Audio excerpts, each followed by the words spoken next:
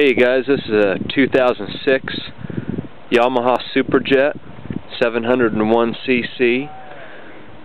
It's all black with some red Yamaha graphics on it. Got some custom modifications from Blowsion.